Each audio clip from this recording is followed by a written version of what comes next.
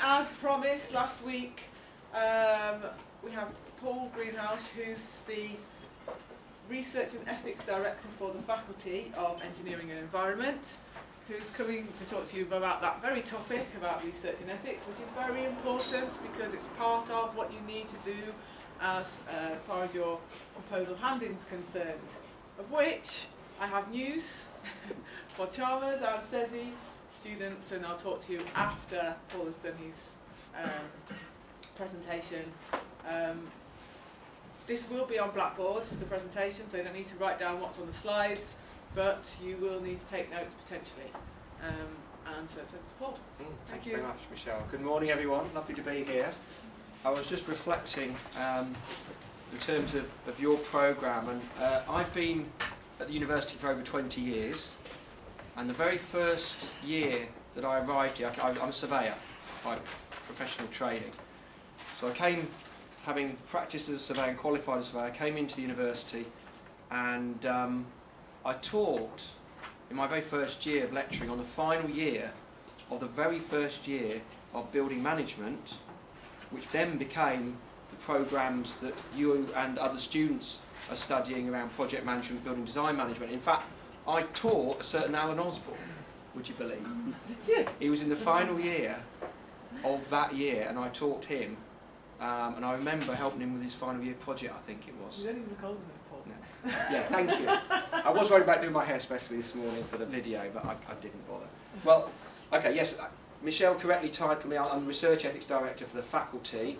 Um, it's one of those difficult jobs because you're trying to persuade people to do the right thing, but they don't always realise that they need to do it.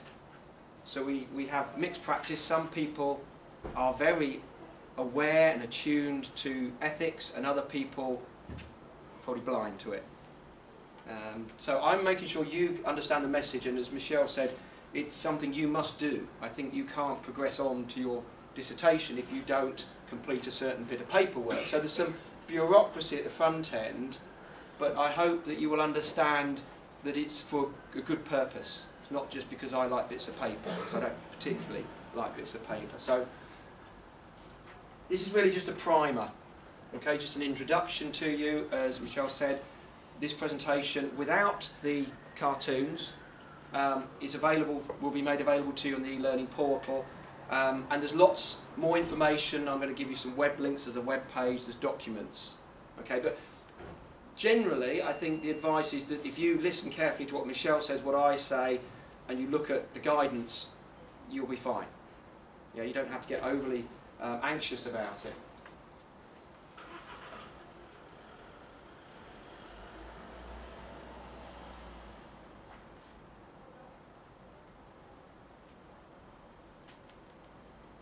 That just demonstrates that you, you do have to be aware that if you take a photograph of someone, other than friends and family, you need their permission. We have students over in um, fashion and design across on, in City Campus East. And being creative people, they like taking photographs of interesting people. So I might like your glasses and I might like your watch. Can I just take a... You can't just take a photograph of your glasses or even your watch. I mean, you say it's your face, but even if it's your wrist and your watch, you still need some sort of consent there. Yeah? Because people might not be happy with you snapping away. And then we know in terms of this, this new world we live in, the new paradigm, where everything can be published in the public domain globally. Yeah? So you have an initial submission, and as I understand it, you complete a research ethics registration and approval form. Does two things. Registers your project and you're applying, you're seeking approval. And it will be approved, signed off by the module tutor, I understand, or Michelle. Um, but first of all, you must categorise it. And I'll talk a bit more about how you categorise research in terms of an ethics risk um, profile. And typically, it will be approved. I can hardly think of a single project that hasn't been approved, but often it's with conditions. So the, the, the approval is conditional, that you must do certain things or you must not do certain things. So these are the essentials.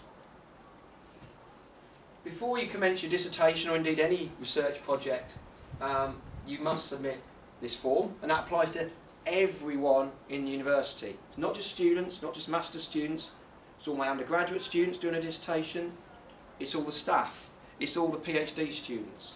If you're doing a research project, you must register. And ignore that bit in brackets, um, your pro forma is slightly different, but you can't approve it. Um, so you,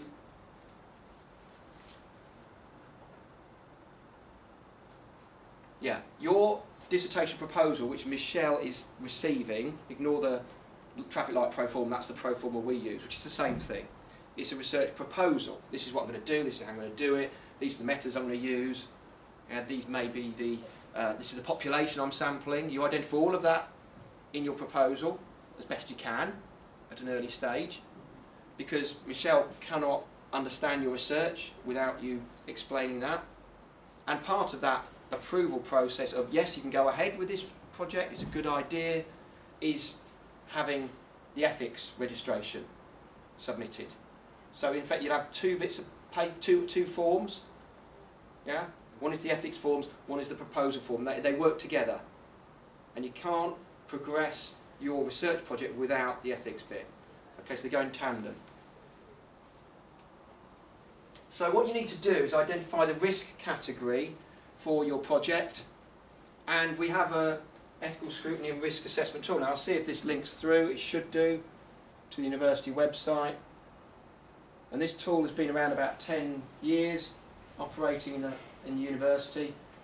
It's not perfect, but it's the model we use.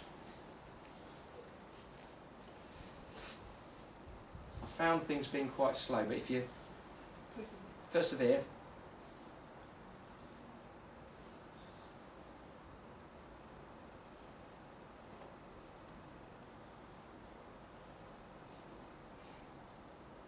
do find it odd when you're in the university, linking to a university web page, it's saying that the web page is not, not. secure. So Okay. so th there's the tool, you, you can access that through that link. And it just explains the three levels of risk and you just take it through there. Okay, I'm, I'm not going to say a lot more about that document because it's there, it's available to you. Um, and the form that you submit you've got to sign it. You've got to say, this is my registration of my project for ethics approval.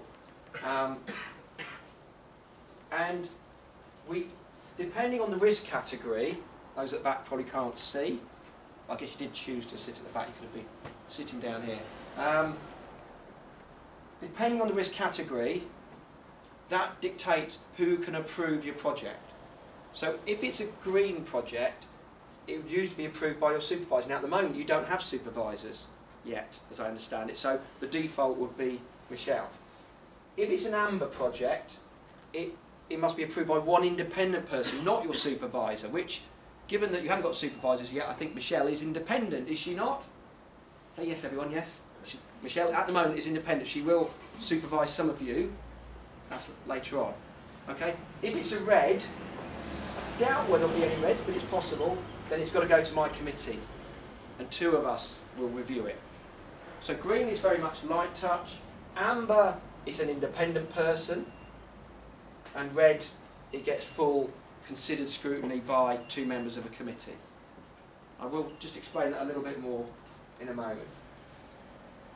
So in some circumstances it might be necessary to conduct a risk assessment as well.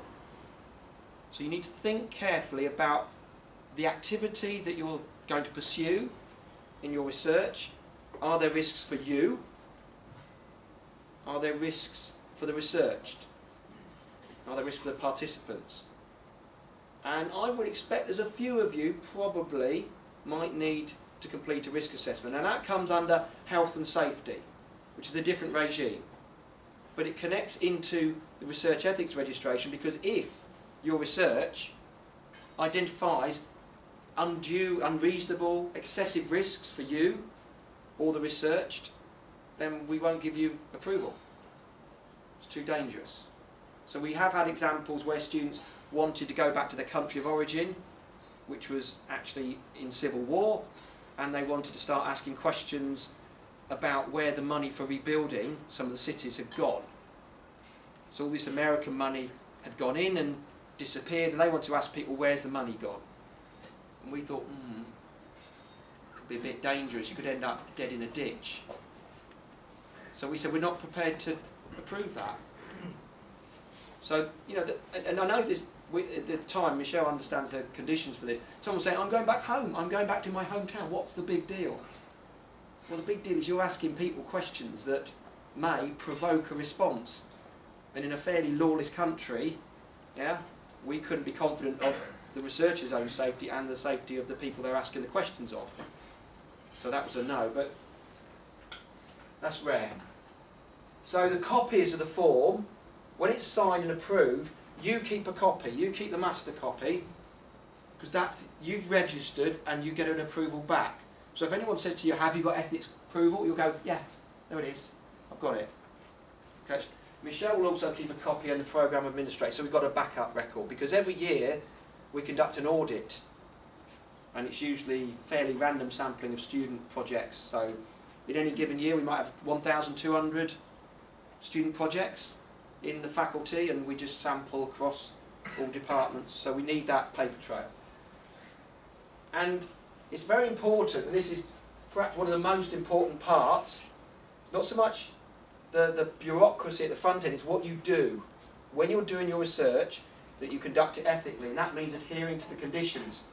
That might be how you record interviews, that you get their consent, the participants, and that could be written consent, could be verbal consent, you might be consenting through some email exchange, you might offer them anonymity, and I'll, talk a little bit more about that as well. The consent forms, which there is a copy of, I've seen a copy that you use for your programme, um, those must be submitted with an evidence file. So when you hand your dissertation in, if you've offered people anonymity, there should be no names in the appendices or in the actual body of your dissertation. But in the evidence file, it's all the other stuff, I call it, the other things, the other items you have gathered together for the purposes of your research project and you put those in a file, and that would include the participant consent forms. It would identify who the participants are. It might be um, interview transcripts, handwritten notes, models. It could all, all sorts of things in that file. Okay, and that accompanies your dissertation. Um, partly it's because we need these evidence files for when we do an audit. Because when we audit a project, we'll look at the approval form and say, yeah, okay, anonymity is offered. Participants will be um, offered uh, a chance to consent or not, and, and if they've consented, there will be a form. Where are the forms? And that's why we need the evidence file to look in. It's also useful because sometimes, I'm sure none of you would even think about doing this because you're very ethical, but sometimes students make stuff up. So in the evidence file I had as one student where there were 40 questionnaires. I thought that's pretty good given that three weeks ago they hadn't done any primary research. So in the three weeks between when I'd seen them last and handing, they had managed to carry out a questionnaire survey and get 40 people to respond. So I thought, oh, I've read the dissertation, I thought, oh, I'll go and look in the evidence file. Looked in the evidence file, pulled out the, the questionnaires, started looking through them. Handwriting is all the same. Even the colour uh, of the pen's the same. And it was like, how stupid was this person to think that that was going to fool anyone? And basically, they just falsified the whole lot. Sometimes it's interviews. I've interviewed these six people. And sometimes, when we doubt it, we phone these people up and say, were you interviewed by this person two months ago? And they'll go, never heard of him. Don't know who he is. So it's partly us making sure there hasn't been academic misconduct through falsification of data. So a random sample, I'm not trying to scare you by the way, uh, a random sample is audited on an annual basis. So this is an easy guide. Now I know those of you at the back, possibly with poor eyesight, won't be able to read this slide. I'm aware that you won't be able to read all the words. But this is a model that is based on a, a, a page that sits in our faculty research ethics procedure and I've adapted it, I've just adjusted it to fit your world. So you can look at this on the slide. If you want to print out one slide of this presentation, print this slide out. So it just basically goes through stage one research design, which is where you are now, I think, at the moment. There's the ethical scrutiny risk assessment, going through the risk. Submission for registration, approval, as green, amber, red. Conducting the research, which I think is the most important bit, it's what you do. And then recording, submitting evidence. So you've got these six stages. Okay? So that's a slide that's worth printing out and it can guide you through the process.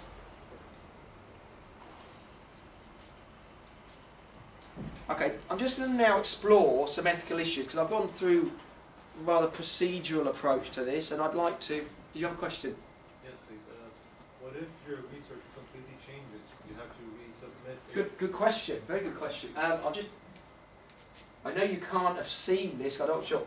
Stage six, recording, submitting participant consents on other documents. Now above that, you've got stage five, conducting the research project and project amendment. So we do have a project amendment form because you're right. You might submit a proposal, um, and actually the feedback you get on your proposal suggests it's not a bright idea. I had one of my students in the, about three years ago said, I want to do my dissertation on money laundering. Okay, and I, I just thought I'd, I'd let him have a go at it. I said, okay, how, how do you think you could pursue that? How, how are you going to research it? Said, well, I'm going to go and interview um, real estate investors uh, um, and agents and developers and ask them about money laundering. What are you going to ask them? Well, I'm going to ask them if they launder money. Seriously, do you think, and, eventually you go, oh no, maybe it isn't a good idea, I, I perhaps need to change. So some people come up with inappropriate ideas. He was only an undergraduate, I grant you, but um, so yes, if you do change, or, or just because when you do your proposal, you think actually, I'm not going to enjoy this. You've got to live with your project, this you know the research project for the next six months. And you think, oh, I'm going to be bored to death by this. You might want to change it, and there is a form. Yeah, good question. Thinking ahead. So the essentials. First of all, does your research involve human participants? Can I just have a show of hands? Put your hand up if you think the research that you might do will involve human participants. Most of you. I'm not surprised at all, because that's the nature of our subject. I know there's technology and there's finance investment and appraisal and but on the whole it's about people. And, and the same for my students. Will you inform them about the research? You want to go like this? Yes, of course we will. It would be unethical not to inform them unless maybe you're doing a particular peculiar, obscure piece of research where by the research knowing they were being researched, they might behave differently. So it's often ethnographic research, yeah, where you're sort of undercover. Don't think you need to do that. You know, might be looking at the behaviour of prisoners. And if they know they're being watched, they might behave differently than the way they would behave when they're not being observed. But generally speaking, we will inform the participants, yes, Paul, we will. Will you obtain their consent using the standard consent form or similar? Yes, we will. Yeah, we will record the consent on the form. Is there any deception involved? I hope not. Because that would be unethical, wouldn't it? Yeah? Takes you a while to work that image out. I, first time I saw it, what's funny about, oh, we've got it now. I can see the little man. Um, do any of the participants constitute a vulnerable group? You'll then ask me, well, what is a vulnerable group, Paul? Generally speaking, we're talking about young people, children, people with medical conditions, particularly learning conditions. Yeah, they might have mental conditions which mean they're not capable of giving informed consent. Okay, it might be the very elderly, the infirm. It might be people, you know, you could say maybe an asylum seeker is feeling in a vulnerable position. Uh, maybe they're an illegal immigrant. You're looking at, you know, the behaviour of illegal immigrants or the employment of those people in the construction industry. Those people might feel quite vulnerable and be vulnerable. Yeah? So you've got to think about that. I mean, generally speaking, I think most of you won't won't be involving vulnerable people. There is a definition, um, and there's a link to the definition through the faculty webpage. If the participants are vulnerable, that has implications, and I'll, I'll talk about that soon. Will the research involve commercially, personally, politically sensitive information? That's a difficult one. Personally sensitive information, we have a Data Protection Act in this country that, and, and actually there's a European level agreement, so there's pretty much a standardisation across Europe in relation to personally sensitive information. Now, that some people think, oh, it's someone's name and address. Well, no, that's not personally sensitive information. It's your medical records. It's your financial records. Yeah, that's personally sensitive. Most people's name and address and telephone number is in the public domain anyway. So just knowing someone's name or knowing which firm they work for isn't personally sensitive. But if you're looking for more, then you could bump into that. Um, politically sensitive, it's, it's a very much a judgment there. Um, because what's politically sensitive to one person is a joke to someone else, maybe. You know, there's plenty of comedians making a lot of money out of what you say politically insensitive comment on the on the television. Um, I'm not sure they're necessarily getting any research or ethics clearance for that. Commercially sensitive is the one I think you're most likely to bump into, and my students do at times. Come in, come and join us. So this is where you're talking to someone. It might be you're doing a case study of a particular company, and you're looking into their practice. And as part of that, you're asking them to explain how they do business, their business model. Yeah. Can you see that becoming straying into the territory of commercial sensitivity? And you've got to be a little bit careful there. There are some instances where we've had students who've done work-based projects, and I know, I understand some of you will be doing your research in your place of work, and that creates other issues, because you're not at arm's length. And people might say something to you because you're a colleague.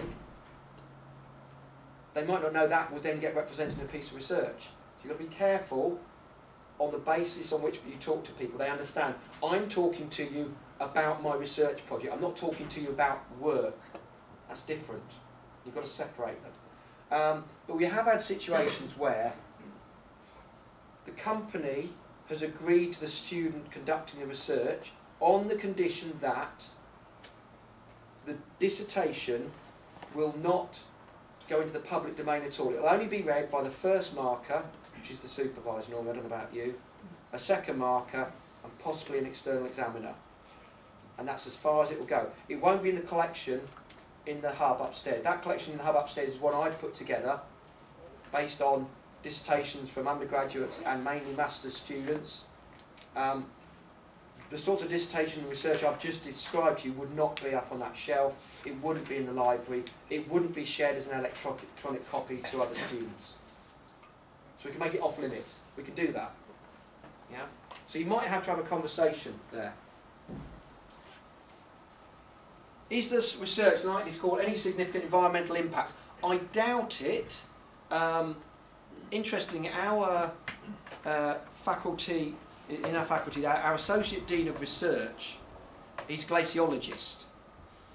And he, every year he goes to Antarctica for about two months. And he blows up bits of the Antarctic.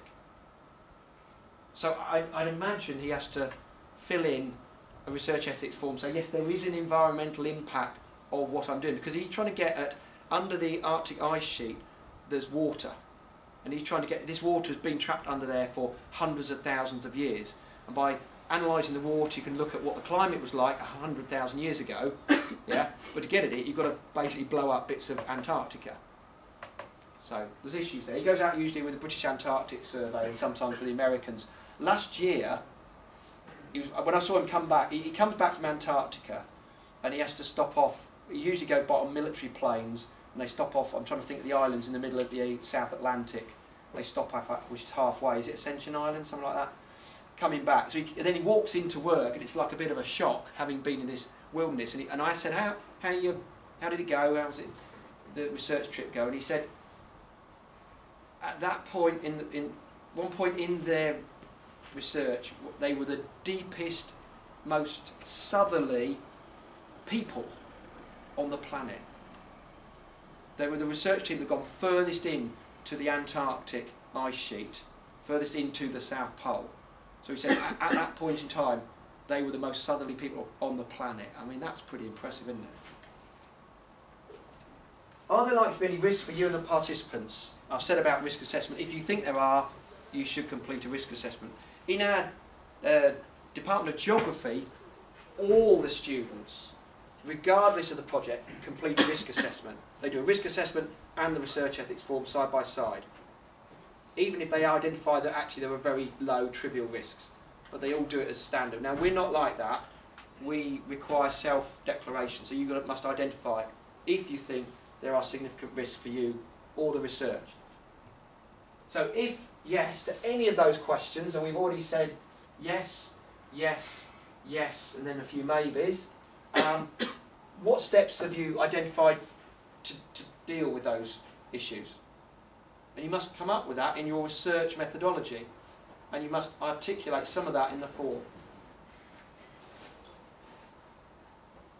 So these are the risk categories. I've gone through them already. I've identified them. I- just want to go through them in a bit more depth. So, if your research involves vulnerable participants, particularly sensitive data, risks to you or the researched or National Health Service, yeah, generally speaking, it's red. And you would always err on the side of caution. If, if you think its research project could be amber, but it's at the top end of the range and it might might just be red, you put it in as red. It's better to put it as red and say no, it's not a red, it's an amber, which I've done recently. It's better to do that than if go through as an amber when actually it should be a red. But amber would be that, that you have human participants, which most of you have already put your hand up and said yeah. So you can know what most of you are going to be. You're all pretty much all going to be amber. And then that there may be some other issues. So if it involves human participants, it must be an amber at least. And then green, that's if you're using black and white, grey, literature. So if you think if you're a historian, or you work in English, or you're a lawyer, you tend to use documents. Tend not to go out and talk to people. If you're a historian, you can't, they're dead. Yeah? You're looking at documents. So it's green. If you're in a, in a lab, carrying out experiments, yeah, not on people or animals or, yeah, we're just doing chemistry or physics experiments, that would be green. Okay? I think nearly all of you will be amber. So I've already got the link to the risk assessment tool. I think you know what most of them are in the built environment domain. There are three outcomes of registration. One is ethical approval is given without conditions. That's generally for green projects. Yeah? Yes, it's green, go ahead. Ethical approval is given with conditions. And ethical approval is not forthcoming. So you're not given permission or consent. I'm almost certain you will be in that one. So unless you're doing a green project, you're going to be amber, possibly red, and I imagine you will be approved by Michelle or a another person, but it'll be with conditions. So, these are the sorts of conditions I would expect Michelle and anyone else who's approving AMBER projects as the one independent reviewer to impose. Information to be provided to parti participants. That might actually mean writing an information sheet. It's like a briefing. Yeah, maybe some of you are participating in research and the, the researcher will give you a sheet and say, would you just read this so you understand who I am, what I'm doing, why I'm doing it, and where this is going to end up? Yeah? You also need to use the participant consent form, which there is a copy of, um, which will be made available to you. So you basically give the form to the person and say, will you please, if you agree to this, sign it. And you just collect them in. The, the data must be stored securely and destroyed securely. That's in accordance with university guidelines, but also with the Data Protection Act or its equivalent. Okay, so we do have law, which means that some data, particularly personally sensitive data, must be held securely and destroyed at the end of the project. And for all research projects, you only keep the data for as long as you need it. So if you gather data in order to write a dissertation which you've submitted for assessment, yeah, that data is redundant now, unless you're planning to publish a paper off the back of your dissertation, which could happen. And I, I publish papers with dissertation students when they've done a really good bit of research.